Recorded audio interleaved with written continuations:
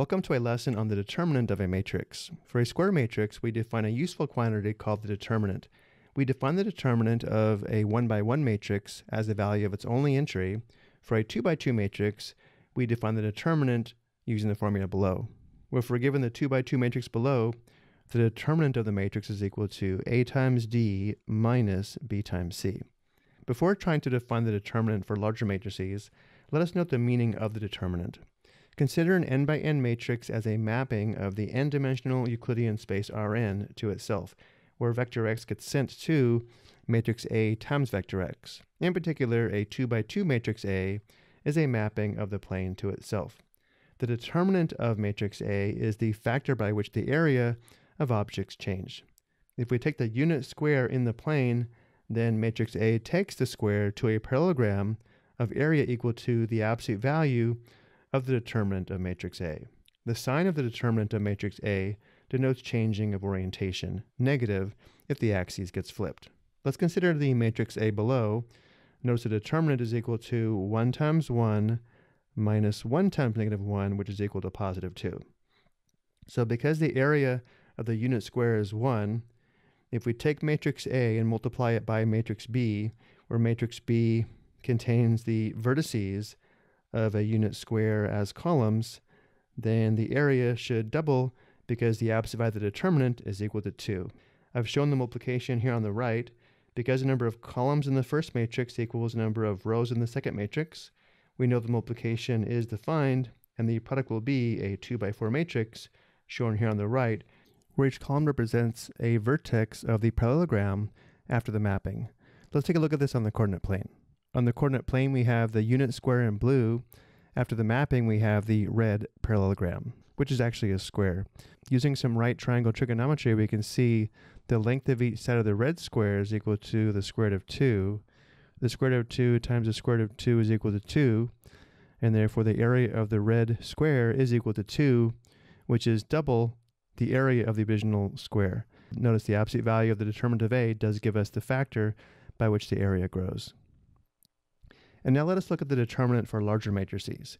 We define matrix A sub ij as the matrix A with the ith row and jth column deleted. To compute the determinant of a matrix, we pick one row, say the ith row, and compute the determinant using the formula shown below. The determinant of matrix A is equal to the sum from j equals 1 to n of negative 1 raised to the power of i plus j times the element A sub ij times the determinant of matrix A sub ij. If we expand the formula using the first row, we get the formula shown here. Notice the exponent on negative 1 actually indicates whether we add or subtract the product of the element A sub ij and the determinant of matrix A sub ij. If i plus j is even, we add. If i plus j is odd, we subtract. Applying the formula to a generic 3 by 3 matrix shown above, we get the determinant of matrix A is equal to the element A sub 1, 1 times the determinant of matrix A sub 1, 1 minus the element A sub 1, 2 times the determinant of matrix A sub 1, 2 plus the element A sub 1, 3 times the determinant of matrix A sub 1, 3. Notice when i plus j is even, we add, and when i plus j is odd, we subtract. And now let's apply the formula to find the determinant of the given 3 by 3 matrix shown below. And again, we'll go ahead and use the first row. So we start with the element a sub 1, 1, which is equal to 1. So we have 1 times the determinant of the matrix after we delete row 1 and column 1, which gives us this 2 by 2 matrix with entries 5, 6, 8, 9. And now we go the next element in row 1, which is 2. But because this element is in row 1, column 2, and 1 plus 2 is odd, we have minus, and then 2 times the determinant of the 2 by 2 matrix, formed by deleting row 1 and column 2, giving us entries 4, 6, 7, 9. And now we move on to the third element in row 1. Because the element is in row 1, column 3, and 1 plus 3 is even, we have plus, and then 3 times the determinant of the matrix after deleting row 1 and column 3. The 2 by 2 matrix has entries 4, 5, 7, 8. Next, we evaluate the determinants. For the first determinant, we have 5 times 9 minus 6 times 8. For the second determinant, we have 4 times 9 minus 6 times 7. And for the last determinant, we have 4 times 8 minus 5 times 7. Simplifying, the determinant is equal to 0. The numbers negative 1 to the power of i plus j times the determinant of matrix A sub ij are called cofactors of the matrix, and this way of computing the determinant is called the cofactor expansion method. No matter which row we pick, we always get the same number. It is also possible to compute the determinant by expanding along columns, picking a column instead of a row. And it is true the determinant of matrix A is equal to the determinant of the transpose of matrix A.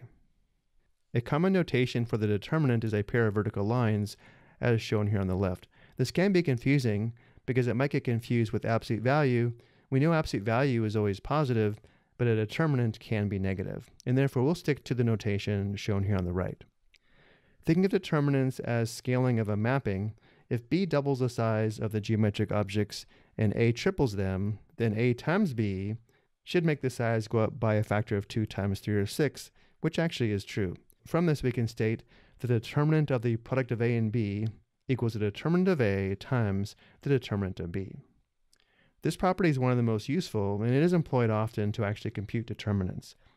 Interestingly, this does have a consequence for the existence of inverses. Take A and B to be inverses of each other, then we know A times B is equal to the identity matrix I, and therefore it follows the determinant of A times the determinant of B equals the determinant of the product of A and B, which equals the determinant of the identity matrix, which is equal to 1. Neither the determinant of A nor the determinant of B can be 0. Because this is so important, let's state this as a theorem. An n by n matrix A is invertible if and only if the determinant of matrix A doesn't equal 0.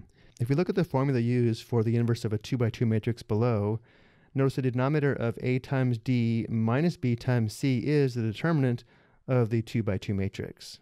And we know division by 0 is undefined, which demonstrates if a square matrix has a determinant equal to 0, it doesn't have an inverse or it's not invertible. Or again from the theorem, an n by n matrix is invertible, meaning it has an inverse if and only if the determinant doesn't equal 0. I hope you found this helpful.